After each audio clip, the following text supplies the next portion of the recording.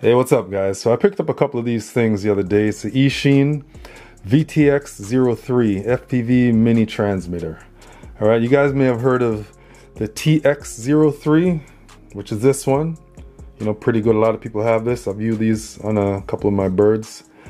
But uh, yeah, this is the VTX03. No camera, like this one. This is an all-in-one. All right, let's take a look at this thing. All right. Comes in a package like this.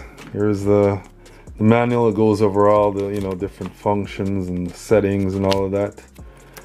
And here is the transmitter itself. All right.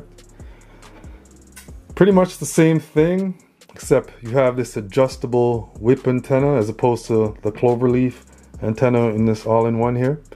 So all the functions are pretty much the same.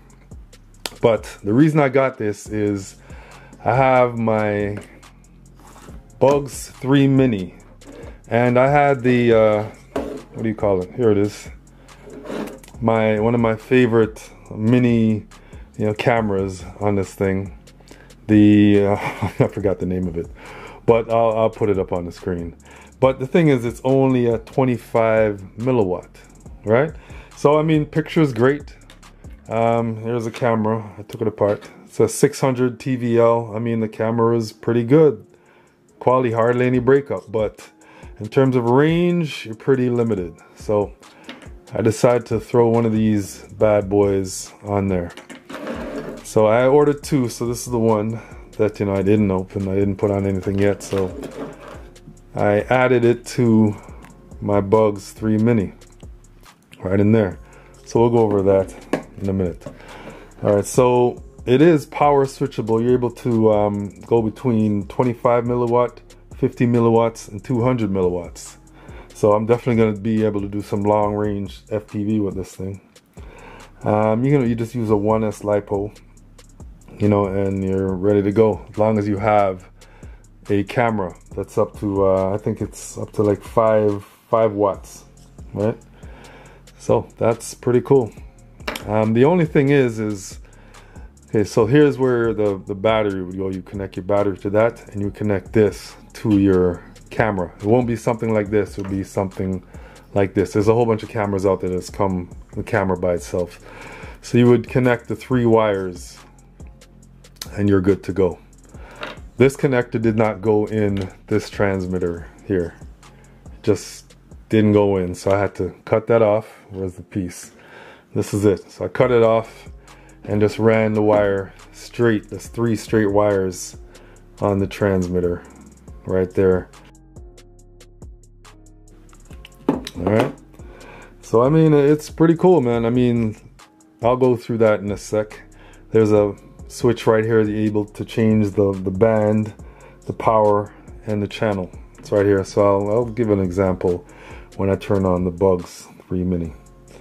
So that's the only reason I got this, guys. I mean, everything was all good, but uh, range was an issue in terms of the FPV part of it. So, all right, let me turn this on and give you guys a little sample.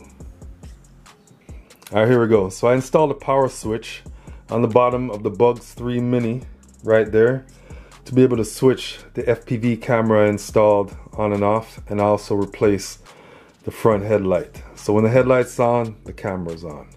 All right, so let me push the battery in. Okay, then I'll hit the switch. And there we go. We have a feed of 5.8 gigahertz signal. So here we go. So here's the transmitter, the VTX03. Hope you guys can see that. I'll try to go as close as possible. I know it's kind of funny looking here. Okay. So it's flashing between... Okay, it's upside down. My bad, guys. All right, so one quick press. See, the problem is I already have this thing mounted, but there's a button right here. So one quick press will give you the channel, which is channel, it's coming in five, bam, one, it will just change to channel five. A longer press from about three seconds will give you the band. Right now it's band A. And about a five second press would change the power output. All right. So right now the three bars is 200 milliwatts. Hope you guys can see that.